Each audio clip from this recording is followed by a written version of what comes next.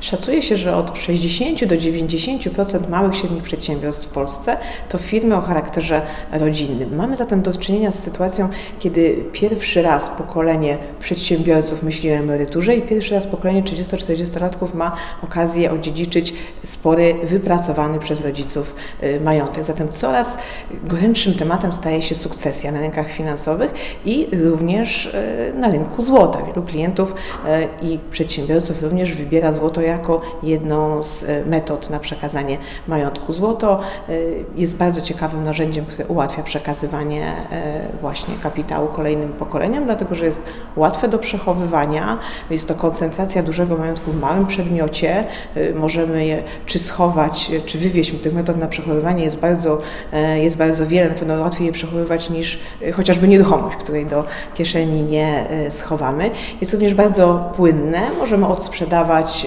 właściwie sztabka po sztabce, możemy też sprzedać sztabkę nie tylko w Polsce, ale na rynkach międzynarodowych, o ile przy zakupie wybraliśmy produkty renomowanych producentów posiadających certyfikację LBMA, które tą rozpoznawalność na całym świecie gwarantują. Jest też dość proste do przekazania, właściwie bez formalności, możemy je dziedziczyć, tak jak nieruchomość czy inny przedmiot.